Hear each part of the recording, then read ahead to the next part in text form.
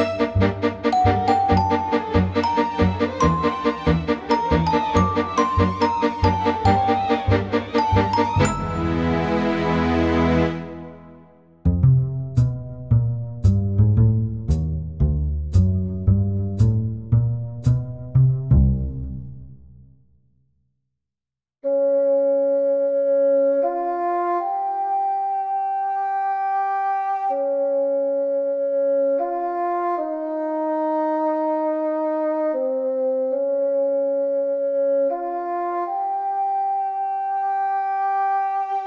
Todos os seres vivos precisam de energia para sobreviver.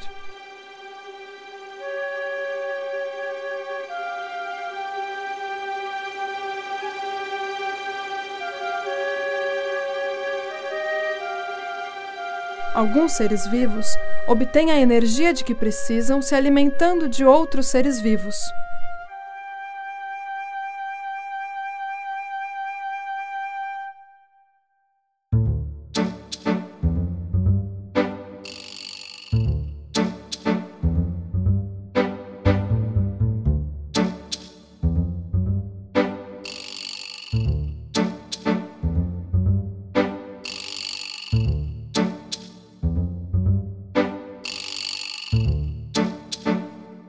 No entanto, a maioria dos seres vivos da Terra consegue sobreviver sem se alimentar de outros seres vivos, usando a energia da luz do Sol e moléculas disponíveis no solo, ar e água.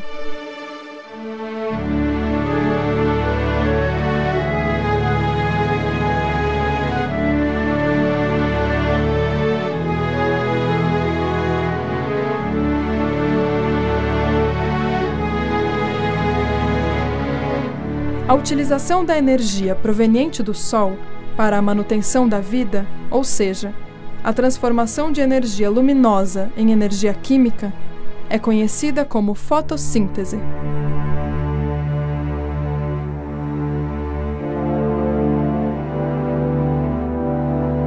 Algumas bactérias, todas as algas e todas as plantas são capazes de realizar a fotossíntese.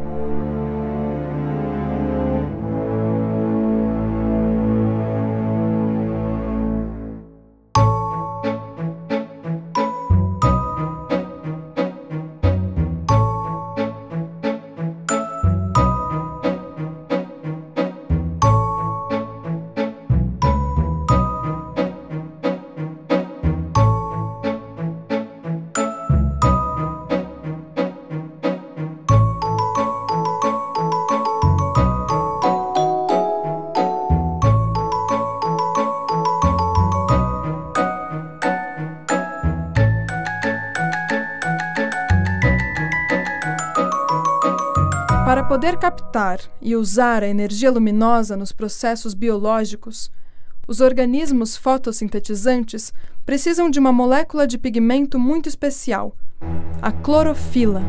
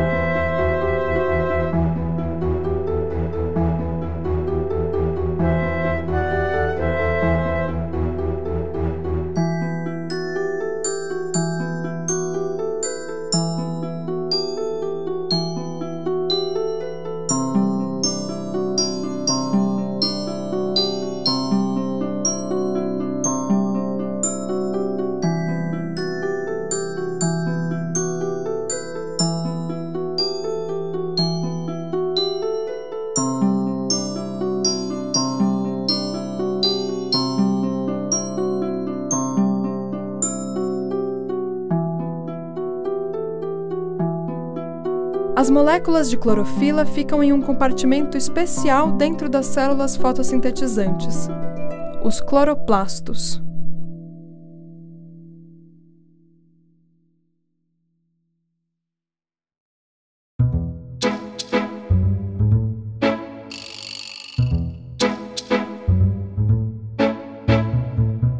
A cor verde dos organismos fotossintetizantes se deve à presença de clorofila.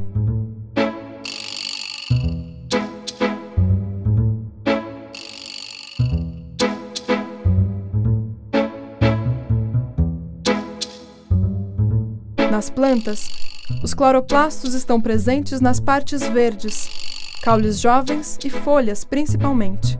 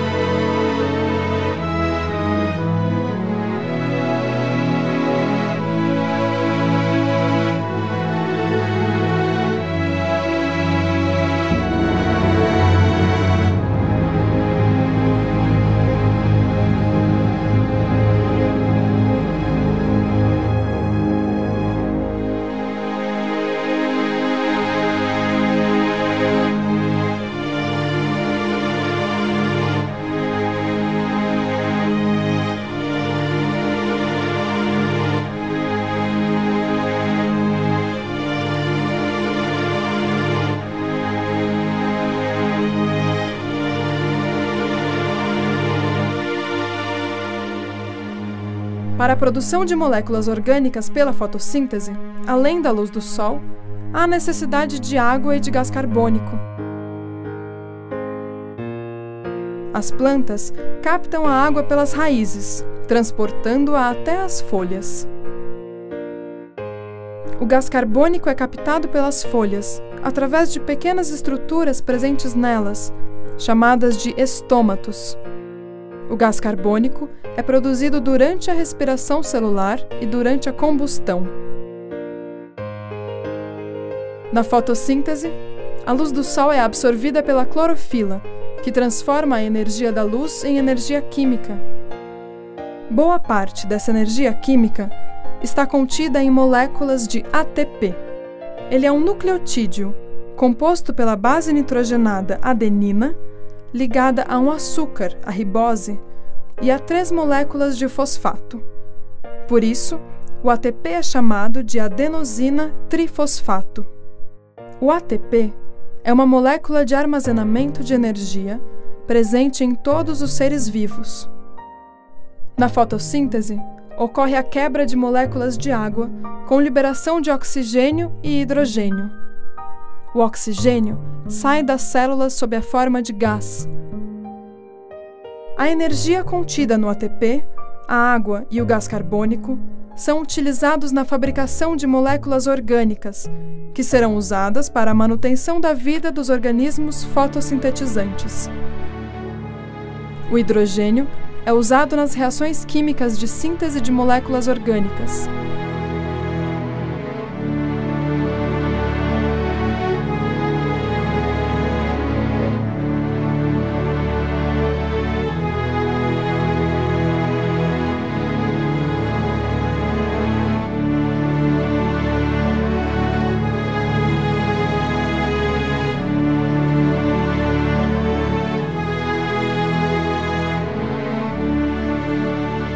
Apesar de ser um produto sem utilidade para a fotossíntese, o oxigênio é uma das moléculas mais importantes para a respiração celular, que acontece tanto em células vegetais como animais.